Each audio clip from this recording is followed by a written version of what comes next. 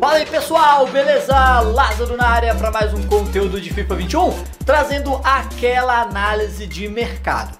Porém, rapaziada, nesse vídeo tem muito mais coisas pra gente falar do que somente a análise do mercado, beleza? Então cola aí até o final do vídeo. Pra você que é novo por aqui, está conhecendo o nosso canal agora, aproveita para se inscrever, ative todas as notificações e se você gostar do nosso conteúdo, deixa aquele like para fortalecer, porque ajuda demais no crescimento do canal. Rapaziada, estamos aí líquidos, né? Olha lá em cima lá em 5 milhões de coins. Uh, não, eu não vendi os investimentos que eu tinha. Se não me engano, eu acho que, cara, é difícil falar, mas deixa eu tentar fazer uma conta rápida aqui.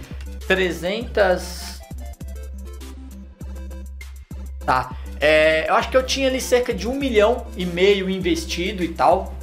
Uh, e aí, o que que eu fiz, rapaziada? Comecei a jogar WL hoje, né? É, comecei ali por volta de 9 horas e tal.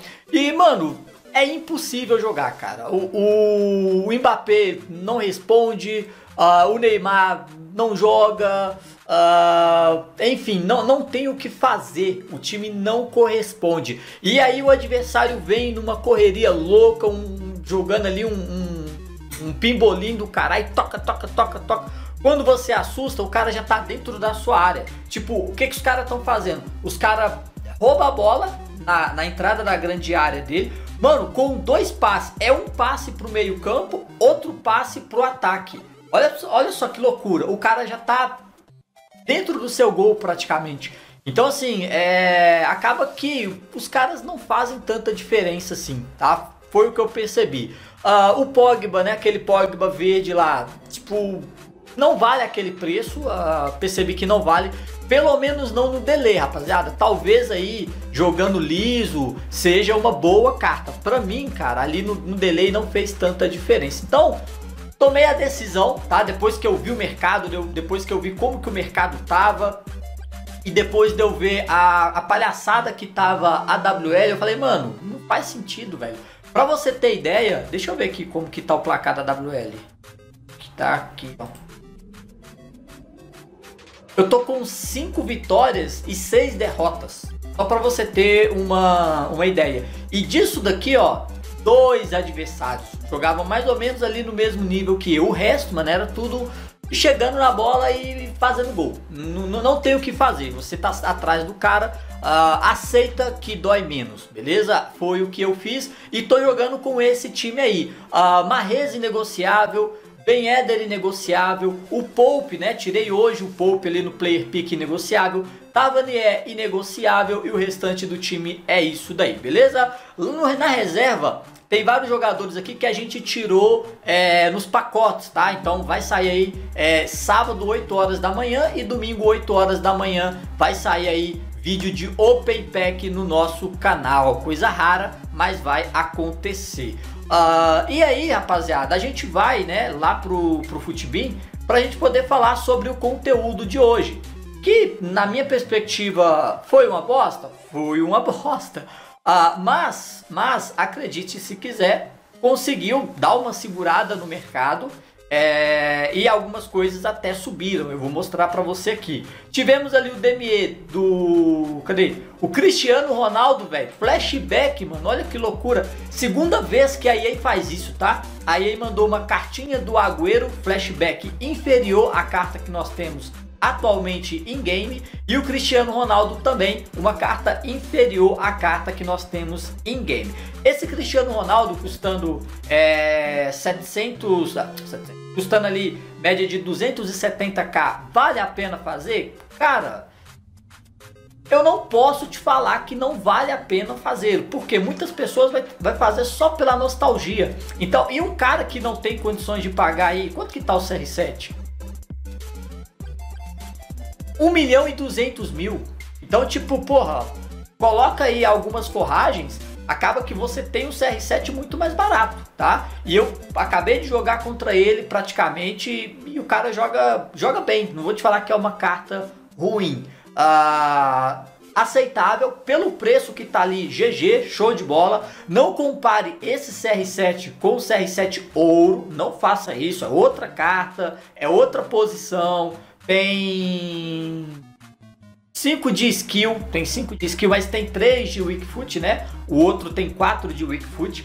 Mas, enfim, é uma carta GG, tá? Dá, dá pra brincar tranquilamente com ela, o jogo quebrado do jeito que é. Uh, o Tot Challenge é aquilo que a gente já sabe, e esse outro aqui que não vale nem a pena comentar, que é ali de, de kit, né? Acho que é uniforme, etc e tal. Não vale nem a pena a gente perder o nosso tempo. E aí, mano, quando eu vi esse DME, foi quando eu pensei, porra, não veio garantia hoje. Não veio nada de garantia. É um DME que não é unanimidade, tá? Eu vi várias pessoas descendo pau, tanto que a própria comunidade aqui, ó, uh, 66% da comunidade desaprova o DME, então a, a, a, maioria do pessoal não vai fazer. Quem vai fazer é aquele cara mais pobre do dentro do jogo, que tem uma condição uma condição de coins inferior, o cara que não tem FIFA Points, ou o cara mais nostálgico. Beleza, pensando nisso, o que que eu pensei? é, é, é, analisando isso, o que, que eu pensei? Porra, fudeu, o mercado vai despencar. Comprei Marcelo a 1.800 coins, a, depois a 2.500, depois os mais caros eu paguei 3k. Peguei poucos a 3k, mas a maioria ali pegando bem, bem safe mesmo. Uh, e aí o que, eu pensei? Porra, vai despencar. Marcelo deve chegar ali na casa de 2 mil coins. Enfim, todas as outras cartas vão cair pra caralho. Não foi o que aconteceu, mano. Incrivelmente, somente essa carta do Cristiano Ronaldo foi o suficiente para segurar o mercado de uma forma que eu não imaginava. Confesso que eu não imaginava. Obviamente que pode ter uma manipulação da EA? Pode, rapaziada. Pode sim ter uma manipulação da EA. Por quê? Ah, mano, tipo, olha só, se você pegar aqui, ó, praticamente todas as cartas 85 subiram. Todas as cartas 85 as 86 também subiram, tá? Se você a gente comparar com ontem. É, as 84 aí um pouquinho mais em baixa, né? E as 83 caiu. Mas as 85 e as 86, coisa que eu particularmente achava impossível, deram aí uma, uma subida razoável, tá? Só por causa desse DME do Cristiano Ronaldo. Agora, leve em consideração a quantidade de packs que foram abertos. Só eu abri mais de 100 packs hoje. Aí não coloquei FIFA Points. Imagina a galera que colocou FIFA Points. É, o Alan Castelo colocou lá, acho que ele colocou mais 100k Points. Ou 30k, um negócio assim. Eu sei que foi bastante FIFA Points. Tirou porra nenhuma, tirou porra nenhuma. Mas, pelo menos aí os 85, os 86 é forragem pra rapaziada poder vender, né? Acho que é mais ou menos isso. Lázaro, e agora? Bom, e agora foi aquilo que eu fiz. Eu vendi o meu time, vendi o meu time, ah, embora o mercado tenha subido um pouco, não é o suficiente para eu vender, por exemplo, o Marcelo, tá? É, vou mostrar para vocês aqui como que tá. O Marcelo e os outros investimentos que eu fiz, não é o, o que subiu o mercado, não é o suficiente para eu poder vender. Vou abrir aqui aqueles quatro elencos que a gente está é, habituado. Vamos falar de ouro não raro, né? Ouro não raro continua aí voando, né? Enigo Martinez, Ierai, mano, é uma coisa absurda essas cartinhas, né? É, outras aqui, ó, já estão um pouquinho mais baixas. Então, o Gabriel, que já passou várias vezes por 1.200 coins. O Mick já passou várias vezes acima de 1.000 coins. E por aí vai, beleza? Ah, em contrapartida, o ISO 1900, o Unai Nunes 1900, Zangador 1200, enfim, trade com ouro não raro, mano, é o melhor trade para você que, que quer fazer aí, tipo uns 30k por dia, uns 100k por dia e tem muito tempo. Tipo, se você tem bastante tempo para fazer trade, esquece todo o resto. Faz só isso daqui que é GG demais, muito fácil de ganhar coins com esse trade, beleza? Garganta foi embora também, viu? Uh, bom, Falando aí dos nossos garotos 8-2 e 8-1, né? A Raul Biol deu uma subidinha, mas não suficiente. O Kimpembe subiu, não tanto assim. É, o Hermoso valorizou um pouquinho, tá? Aí a gente chega aqui no Maguire. Uh, Maguire teve uma queda se comparado com ontem. O Rudiger, mesma coisa. O Zumar caiu. O Zumar caiu, tomou um tombo feio. O Zumar era meio, média de 1.800, tá? 1.300 ali. Condé tá quase nessa mesma faixa de preço aí. Uh, o Boateng muito baixo, muito baixo mesmo. O Bartra, mesmo preço que o Boateng. Gabriel Paulista, 1.300 coins. Nath Fernandes e, e 800 coins. O que é que eu falo para vocês sobre essas cartas aqui? É, overall 82, se você pegar abaixo de mil coins, mano, é GG, é muito fácil você ter lucro. E no momento que a gente está no mercado, não é difícil pegar Gabriel Paulista e Boateng abaixo de mil coins, tá? Acima de 1.500 é totalmente errado, não faça isso, porque por mais que possa subir aí nos próximos dias, uh, eu não vejo essa carta acima de 2.500 coins. Não, não consigo ver essas cartas aqui, porque a rapaziada vai continuar, continuar, continuar abrindo os pacotes, tá? Eu acho que essa é, é uma linha de, de raciocínio em cima disso daí. O Maguire também não investiria nela, tá? Então, sim, são cartas que estão em um momento muito volátil do FIFA. Em outros momentos, estava muito fácil de lucrar com elas, não é esse momento. Mas, Lázaro, é possível que venha uma garantia 8-3 mais? Mano, é muito possível que venha é, boas garantias. Estou gravando esse vídeo na sexta-feira, provavelmente aí na entre sábado, domingo e segunda teremos alguma garantia. Se não me engano, acho que é na segunda-feira, né? Deixa eu ver aqui quando que os TOTS param de sair.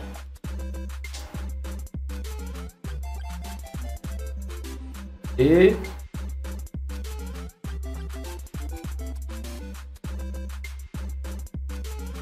mano. Tá aqui. É 3 dias e 18 horas. Então amanhã fica 3 dias, aí vai domingo, segunda, terça, né? Até terça-feira. Então até terça-feira teremos teremos aí algumas oscilações no mercado com algumas possibilidades. É, só que só faça investimento extremamente seguro. Por quê?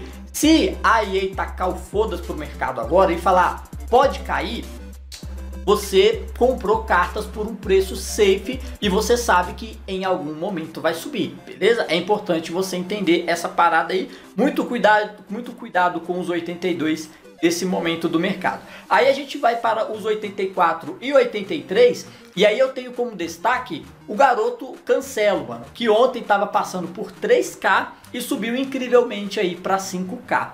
Olhei nos DMEs lá do Cristiano Ronaldo, olhei nas soluções do Futibin e não, ele não está lá.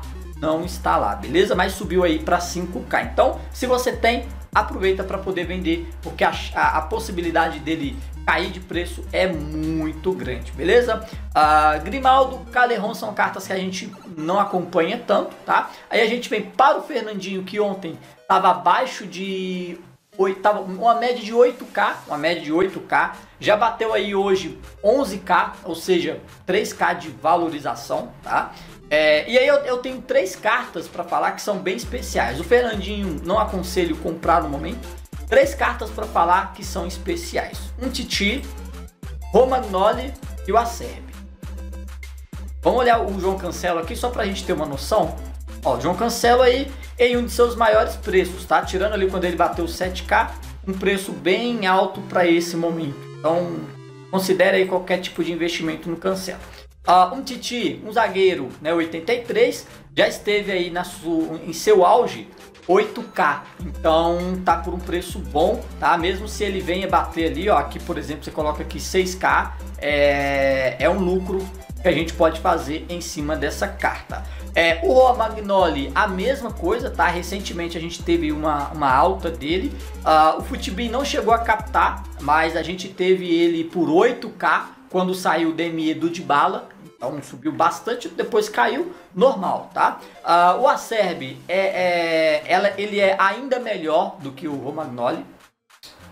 Que ele, ele, é pelo fato dele dar um link ali com jogadores de overall mais alto, ele acaba sofrendo ali uma, uma valorização maior, tá? Uh, ele a gente chegou a ver por 9k, tipo, coisa absurda. Um dia ele tava, uh, acho que 3 e pouquinho, chegou a bater 3.900 ou 4K, não lembro. Quando foi no outro, quando saiu o Demedo de bala, ele chegou a bater 9K. Então é uma carta é, muito top para investimento. Tá passando por um preço muito bom, tá? São cartas aí que sim, eu indico o investimento nelas. Uh, Felipe, não.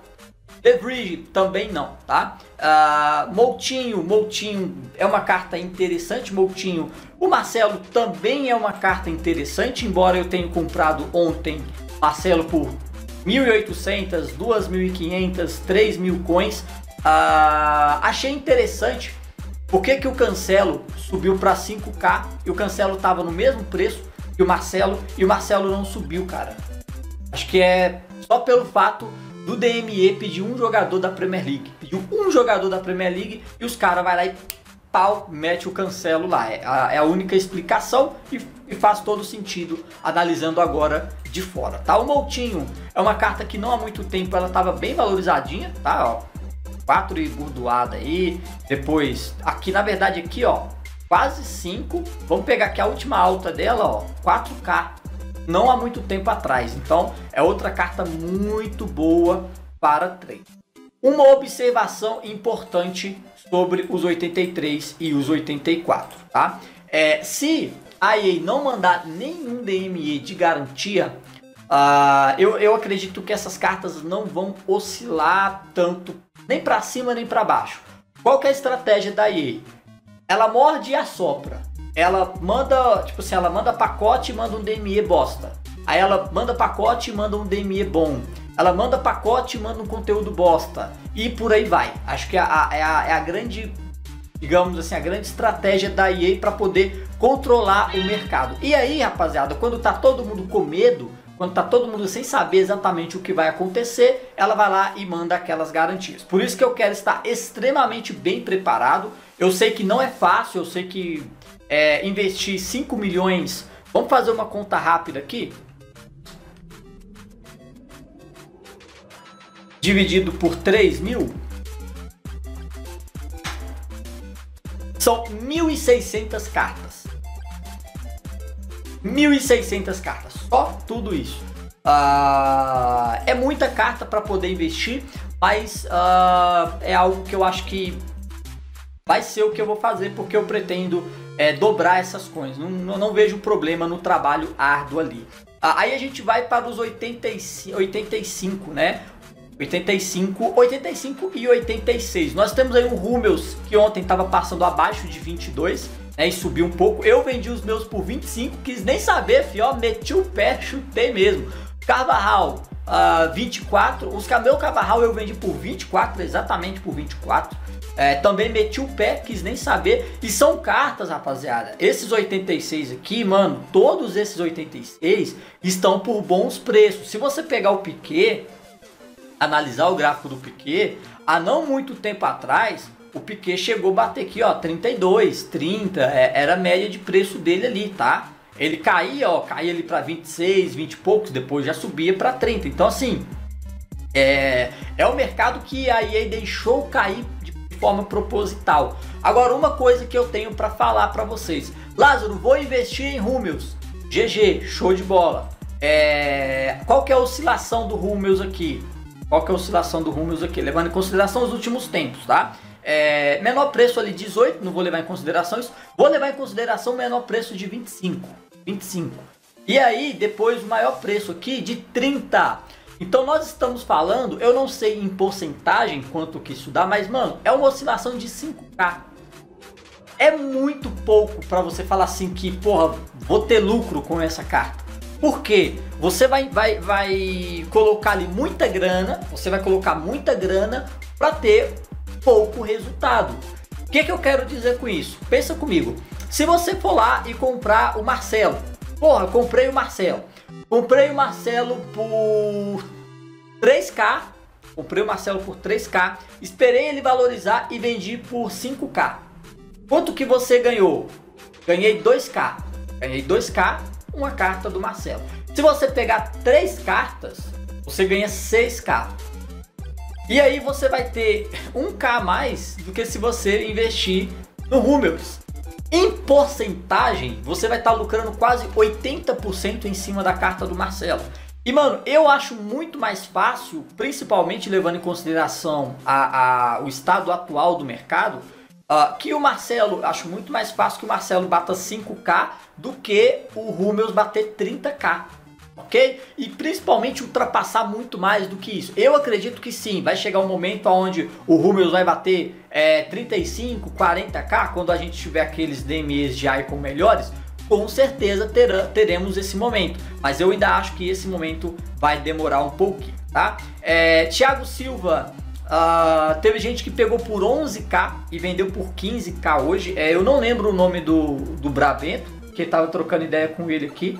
Aí ele perguntou se vendia ou não. Falei, mano, vende logo, vende logo 15k, mano. Vai embora, cara, vai embora e bora pra cima. Uh, é isso aqui que eu vi mesmo? Aonde você faz love, irmão? Mano, love geralmente eu costumo fazer na cama. Eu, eu acho que você quis dizer live. Eu, eu só acho, depois eu vou te perguntar aqui. Eu vi que acendeu ali, eu não entendi direito. Doideira, mano que ele escreveu errado. Uh, Marquinhos. Marquinhos subiu um pouquinho mais. Luiz Alberto também. Então, assim, os 85 tiveram uma boa subida, cara. Eu não imaginava que o 85 subiria tão bem hoje. Incrivelmente, o Parejo não subiu dessa vez, tá? Até o... Ah, tá. O Rodri subiu porque pede um jogador da Premier League. A EA é foda. Ela mandou um DME de um jogador da Itália pedindo um DME, pedindo um jogador da Premier League. Então o que que ela fez? É, é, tipo assim, eu imaginava que ela fosse mandar um jogador da Premier League pedindo um jogador da Premier League ou um jogador da La Liga valorizando os da, os da La Liga. Não foi o que ela fez. E, incrivelmente ela mandou de bala é, dois DME aí envolvendo jogadores da, da Itália em menos de uma semana que um para dar link pro outro, né? Foi, foi legal, não foi ruim não, rapaziada, foi legal. O nosso querido Alexandro continua voando aí, tá? É, ah, talvez pelo DME, talvez pelo link, não sei, mas continua voando ali muito bem, tá? Ah, basicamente, rapaziada, é isso, tá? Uh, não sei com quantas coins que você tá, comenta aí com quantas coins que você tá e comenta também o que você vai fazer nesse mercado louco aí, beleza?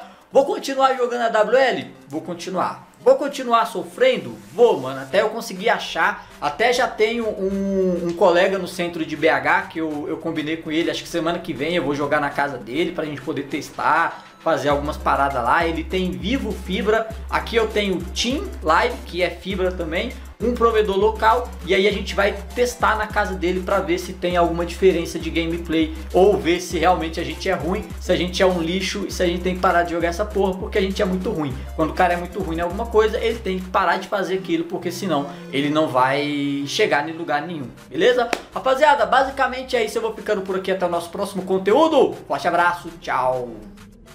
Fui.